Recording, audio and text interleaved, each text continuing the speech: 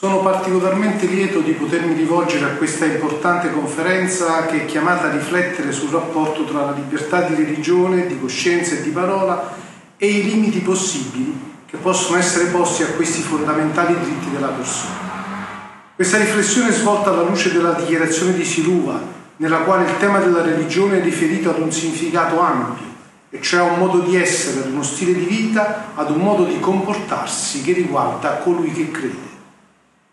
Di qui sorge un primo interrogativo. Si possono porre dei limiti a ciò che la religione rappresenta, non solo in termini di libertà, ma di contenuti? Permettete un rilievo iniziale. La religione non è un semplice concetto che si può definire, come pur la libertà religiosa non è un semplice diritto. Basti pensare alla dimensione individuale e comunitaria in cui si realizza la libertà religiosa o alla collocazione di questo diritto tra le altre libertà cosiddette libertà intellettuali pensiero, coscienza, opinione. Si tratta quindi di una libertà collegata non solo ai diritti civili e politici, ma anche a quelli culturali, come pure ad alcuni aspetti di carattere sociale. Questo rilievo ci permette di individuare che esiste un differente atteggiamento degli Stati verso il fenomeno religioso globalmente inteso.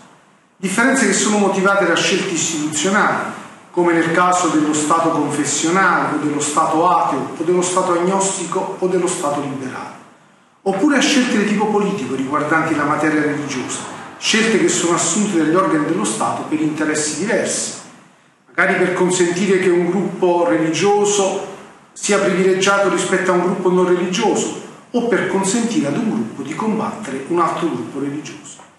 Questi atteggiamenti hanno un immediato effetto sul contenuto della libertà di religione, come già ricordava Benedetto XVI nel suo discorso all'ONU il 18 aprile del 2008, quando sottolineava che il diritto alla libertà di religione è espressione al tempo stesso individuale e comunitaria, ma è soprattutto una visione che manifesta l'unità della persona, pur distinguendo in questa unità la dimensione del cittadino da quella del credente.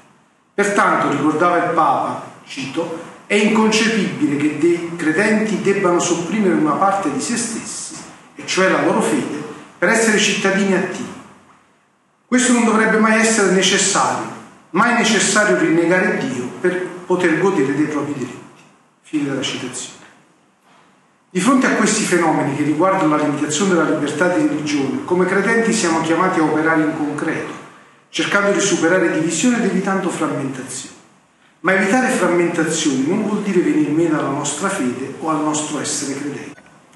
Trovare ciò che ci unisce con altre visioni, anche di carattere religioso, è certamente una strada da percorrere, purché sia percorsa in modo che la ragione naturale e il patrimonio della ragione naturale siano parte essenziale di questo processo.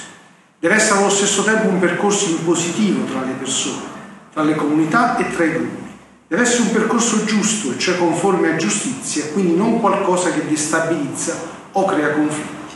E infine deve essere certamente una strada aperta ad una visione universale, quella che per noi è il senso della cattolicità, che impone di vedere l'elemento religioso non limitato da confini geografici. Cosa dire allora di fronte all'atteggiamento di uno Stato o di organi internazionali che in qualche modo vogliono entrare nella dimensione direttamente legata alla religione nella sua globalità? Per decenni, anche sul piano internazionale, abbiamo vissuto la tendenza ad equiparare il diritto di credere al diritto di non credere ritenendo che quest'ultimo fosse più importante per garantire il funzionamento delle istituzioni. La libertà di religione è invece anche libertà di manifestare ciò che la religione esprime o può esprimere in termini di vita delle società, in termini di regole o di più ampi spazi per la giustizia. E questo per garantire una sana convivenza tra le persone. In altre parole, i limiti possibili alla libertà religiosa possono essere solo limiti esterni, determinati cioè dalle condizioni dell'ordine pubblico della salute pubblica da problemi che riguardano la sicurezza nazionale in alcuni aspetti specifici. Ma mai è possibile limitare ciò che è nella sfera più intima della persona, nella sua coscienza. La religione è anche una spiegazione del significato della vita e di come vivere l'esistenza. Di essa fa parte un credo, un modello di comportamento, un culto. Ebbene, la limitazione deve essere fatta in modo tale da tenere conto di questi diversi aspetti e pertanto non potrà mai essere una, una limitazione che valuta la coscienza del credente. La connessione tra la religione con il pensiero, la coscienza e l'opinione non può essere legata soltanto all'esercizio di queste libertà, ma anche all'obbligo dell'autorità pubblica di rispettarle. Oggi diventa più che mai necessaria questa differenziazione, perché non è mai giustificabile una sovrapposizione tra religione, coscienza, pensiero o parola, come pure non è possibile ridurre la religione ad altri aspetti. Il tentativo a cui assistiamo quotidianamente è quello di ridurre e confinare la religione alla sfera privata o alla sfera del culto, e questo in nome della tolleranza, o meglio per evitare l'intolleranza religiosa. Alla religione la normativa internazionale, quella che dovrebbe ispirare la condotta degli Stati, affianca i concetti di libertà, di non discriminazione, di tolleranza, ma precisa anche la portata di questi concetti per evitare una sovrapposizione, o meglio un'equivalenza di fatto con la religione. La tolleranza è un criterio ispiratore di tutti i diritti fondamentali, e cioè qualcosa che riguarda la prevenzione della discriminazione, ma non può essere considerata un'alternativa alla religione. Non vi è dubbio che anche recenti manifestazioni presenti in alcuni paesi e riversate anche nelle relazioni internazionali portano quotidianamente a leggere il rapporto tra religione e tolleranza come unico modo per garantire la tutela di chi crede. Ma evitare la confusione tra religione e tolleranza significa evitare limiti esterni alla vita e alla coscienza del credente. Ci viene in aiuto su questo punto la Dichiarazione universale dei diritti dell'uomo, di cui quest'anno celebreremo il 75 anniversario. A differenza del linguaggio oggi adoperato all'interno di singoli Stati, oltre che delle sedi internazionali in cui si invitano le persone ad agire in spirito di tolleranza, in tutte le situazioni legate alla vita sociale, la dichiarazione rivolge invece l'invito ad agire gli uni verso gli altri, in spirito di fraternità. Oggi sono evidenti gli sforzi di ridurre la libertà di religione a quella di pensiero, addirittura a quella di opinione. E questo non solo per effetto del secolarismo o del New Age, ma soprattutto per la convinzione di alcuni gruppi fortemente ideologizzati secondo i quali il diritto dei credenti e delle comunità dei credenti di avere ed esprimere opinioni non può influire sulla visione etico-morale di una società. Questo significa che l'elemento religiosamente fondato non deve essere preso in considerazione da chi fa le regole, le direttive, né dalle scelte della politica. La religione pertanto rimane nella sfera privata, quella del culto al massimo, ma senza una dimensione sociale, e questo viene proposto per garantire il pluralismo di pensiero e di opinioni che secondo questi gruppi caratterizzerebbe la società contemporanea. Di fronte a questi elementi credo vada fatto ogni sforzo per salvaguardare l'unità tra la sfera privata, cioè la persona che è credente, e la dimensione pubblica, cioè la persona che è cittadina. Separare la persona umana è insidioso perché esclude l'elemento religioso dalla governance dei processi politici e istituzionali e in più elimina ogni possibile apporto pubblico di un ethos religiosamente fondato nella preparazione di leggi o anche in quella che può essere l'attività delle istituzioni. Una prima serie di effetti di tale impostazione riguarda direttamente la dimensione interna delle religioni e delle comunità dei credenti.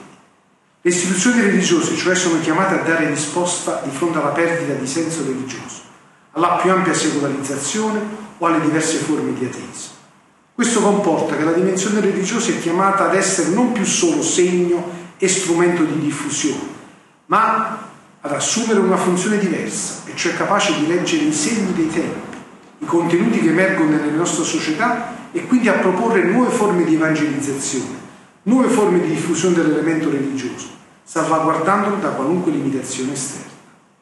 È chiaro che se una comunità e i suoi membri sono fortemente preparati, sarà difficile che anche un atto legislativo sia approvato senza restrizioni o senza letture diverse.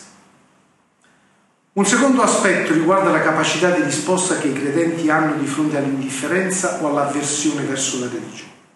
Sono atteggiamenti che nelle nostre società molto spesso vengono giustificati in nome del rispetto dei diritti umani, ma dimenticando che la persona, quale creatura libera, ha il diritto di stabilire i suoi rapporti con Dio nell'intimità della propria coscienza, senza coercizione, e quanto ci ricorda il Concilio Vaticano II nella dichiarazione di Unitatis Umana.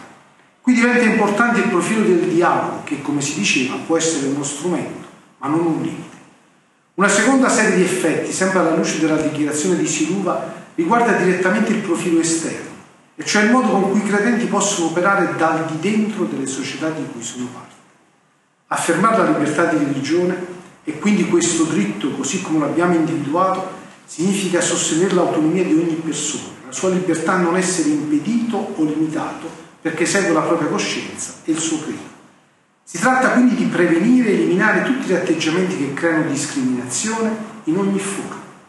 Così significa anche superare una visione della laicità dello Stato e delle sue istituzioni che porta ad escludere i credenti dalla vita pubblica.